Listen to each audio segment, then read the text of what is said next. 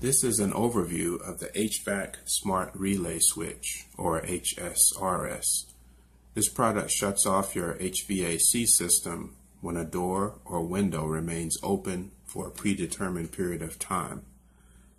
The product is available in two variations, wired and wireless. This row of items is the wired system, which includes power converter, which converts 24 volts AC from the air handler into 12 volts DC to power the control unit. And we also have a set of door switches. Actually, this is one set. The combo package includes two sets. Additional sets are available as desired. But the control unit, we can open this by separating the lid. And what you have is the control board with a number of internal controls. And uh, the first set of controls I want to point out is the dip switches.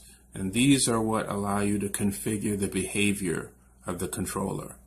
So for instance, if you'll notice, switches 2 and 3 on uh, the first bank of switches, known as DSW1, these two switches are on.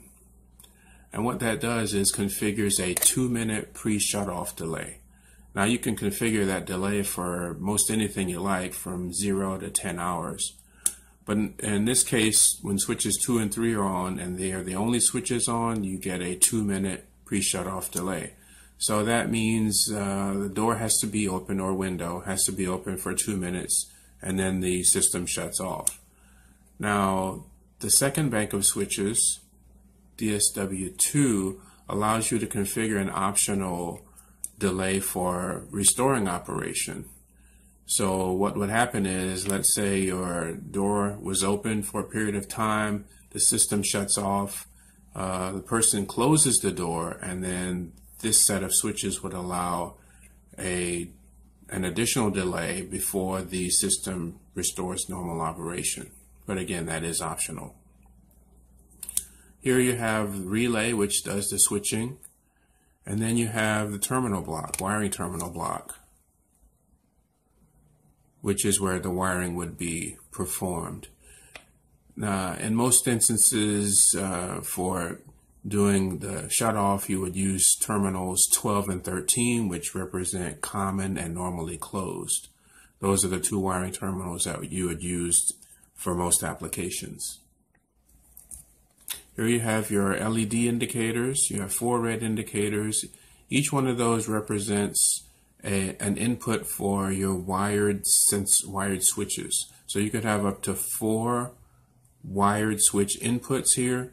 Um, you can actually have as many wired switches as you like if you employ simple serial daisy chaining. And then you have the green indicator, which is merely a status indication. That in uh, normal operation, this indicator will flash on and off at a periodic rate, and that just lets you know that the controller is operational.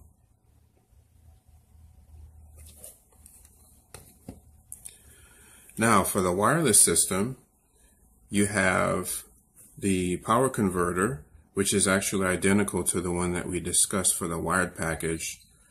And you have a wireless door window sensor, which uses two AAA batteries. I happen to have one here that's open. You can take a look at that, and you'll see that uh, it's fairly simple.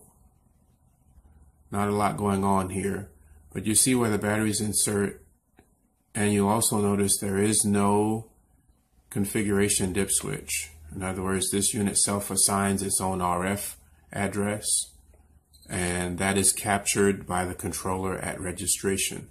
Registration is the pairing process, which allows the controller to accept uh, the door sensor or sensors that you will be using. And speaking of the controller, this unit is secured by four screws, which keeps the lid intact. I've already removed them. So then it's a matter of separating the lid and then you see the internals are pretty much the same as for the wired system. with just a couple of differences. One of them being the antenna connector. You see the configuration dip switches, the relay, and the wiring terminals, which are accessible from the back. And you'll see that the indicators are viewable from the front. Unlike the wired system, which uh, these indicators would not be viewable from outside the package.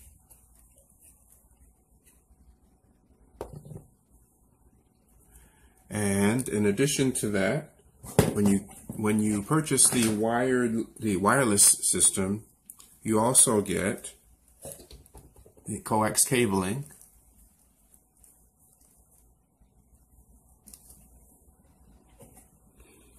the antenna bracket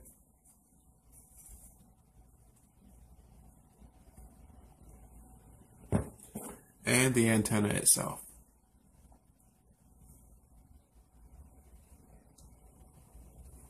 And that, that concludes the overview of the HSRS system. For additional details, feel free to visit the website www.kadtronix.com.